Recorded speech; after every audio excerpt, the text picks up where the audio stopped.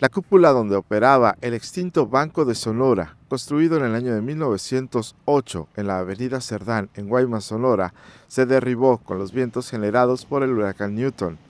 La construcción histórica poco a poco ha ido deteriorándose con el paso del tiempo y aunque soportó los impactos de otros fenómenos meteorológicos, esta vez la infraestructura cedió y los pedazos de su cúpula cayeron al suelo. En más de una ocasión se han presentado proyectos para su rescate, pero ninguno de ellos se ha logrado consolidar. El 3 de septiembre del 2009, durante la presencia de la depresión tropical Jimena, se cayó la cúpula de la iglesia San Fernando, la cual después fue reconstruida con apoyo de los ciudadanos guaymenses. Con información de Jessica Ojeda para el imparcial.com, Daniel Ríos.